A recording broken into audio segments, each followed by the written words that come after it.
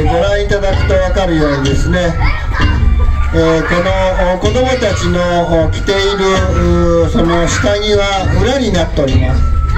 えー、衣を裏に着て出てまいあのおります。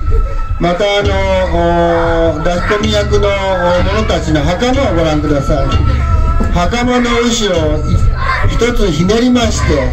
裏にして、えー、縛っております、えー、いわゆる